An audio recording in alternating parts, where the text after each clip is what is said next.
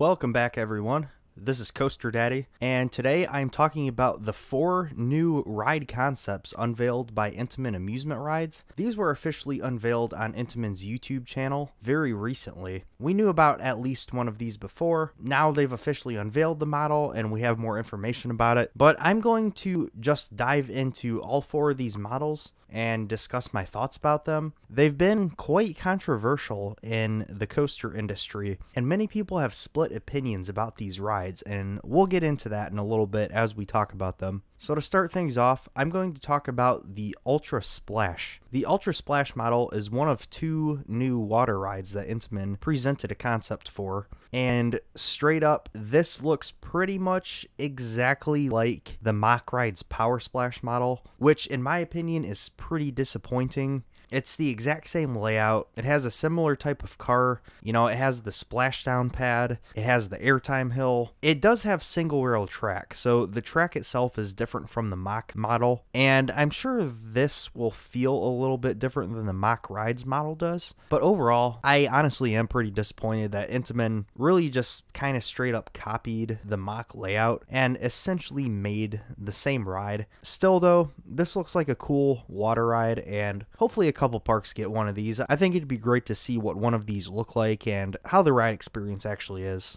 Next up, we have the other water coaster model. This is called a Giga Splash. And no, it is not 300 feet tall. It's actually only 131 feet tall. It has a 285 degree rotating panoramic lift, which is kind of cool looking, but it could also be a downfall of this model. I don't know how reliable these are going to be. Surely these are going to be very expensive. I mean, we're talking about Intamin here. Intamins already aren't cheap, and then you have this sophisticated lift technology, and I just don't see it being that reliable, and I'm sure it's going to be pretty expensive too. This has a 87 degree drop, which is pretty awesome. There's an airtime hill, which says it provides negative 1G. That's pretty darn good for a water ride.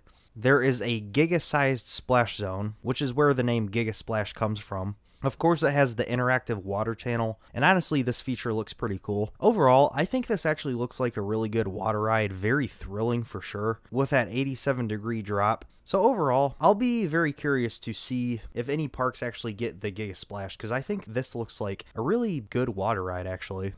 Next up, we have the Vertical LSM Coaster. As you guys are probably going to notice with this model, it looks quite similar at a glance to the Skyrocket 2 model by Premier Rides. Despite its many similarities, there are quite a few differences as well. It's being marketed as the most compact triple launch coaster in the world, so take that for what it is. It has three launches, obviously. It actually has the world's first upside down launch, which is very cool looking. But to me, this just kind of reeks of downtime. I cannot see this being that reliable. We know Intamin's track record, and the fact that they're doing a upside down launch, it just doesn't seem like it'll be that reliable. But going into the elements, there is the world's first zigzag loop, which to me looks very similar to a non inverting loop, but instead of not inverting, you do invert, but it's not a regular loop. It twists you around one way and then flips you back around, and then you do another inversion. It looks pretty cool. It says it can do a single or double cycle, so there is some variety as far as operating the ride.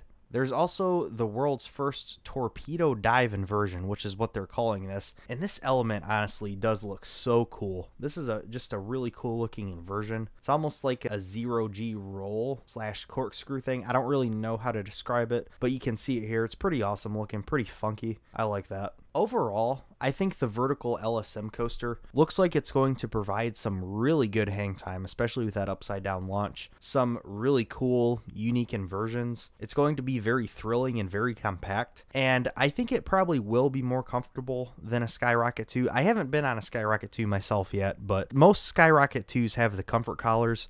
This is just going to have lap bars, it seems, based on the concept rendering. So, the vertical LSM coaster, it looks great. It's kind of disappointing that this is Intamin we're talking about. Intamin is known for innovating, and it seems like once again with this model, they are taking a lot of inspiration from something else, that being the Skyrocket 2 model. This looks a lot like the Skyrocket 2, and because of that, I don't know that a lot of parks are going to be jumping for this model from Intamin. I'm sure the Premier Rides Skyrocket 2 is going to be cheaper than this and I think it's just going to be more appealing for a lot of parks out there. But I could definitely see a few of these vertical LSM coasters being built, and I think they'll provide a very thrilling experience overall. These look like pretty good rides, to be honest. There's not a whole lot bad I can say about these. I'm excited to see how the vertical LSM coaster plays out. The last ride we're going to talk about is the one that's probably the most exciting, and this is the Hot Racer. Now, the Hot Racer is Intamin's take on a single rail coaster. Now, I'm not going to get really into this here. I don't know the whole comprehensive history myself. I know a lot of people are saying Intamin basically is copying RMC by doing a single rail here, which once again, you know, it does seem like they're taking a lot of inspiration from other manufacturers. I do want to remind everybody that RMC didn't technically invent the single rails though. There were actually single rail coasters built long before the RMC Raptors were ever built. I just wanted to put that out there. So, whatever you may think about this, I do believe they probably were taking a lot of inspiration from RMC with this. However, Intamin's version of the single rail is going to feature launches. These are also going to have single rider rows in the cars. They're offering three different layouts here, although I'm quite sure that they will offer custom layouts as well.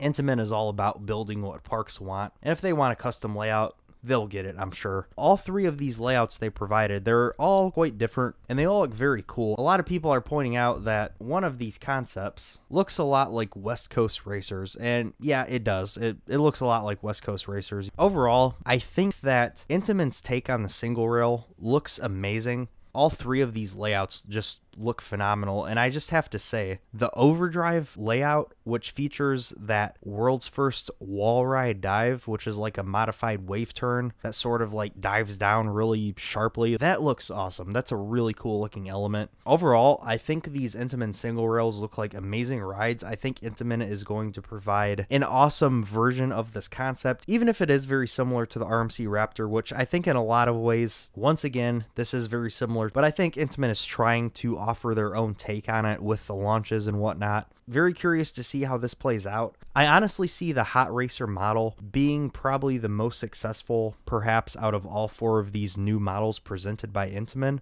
Let me know what you guys think. What do you guys think about these new models? Are you disappointed that they're doing things similar to what's being done in the industry? Do you think they're going to offer a drastically different new approach to these rides? Let me know all that. Be sure to like my page Coaster Daddy on Facebook, follow me at Coaster Daddy Official on Instagram, and like this video if you enjoyed it. Thank you guys so much for watching. This is Coaster Daddy. Bye.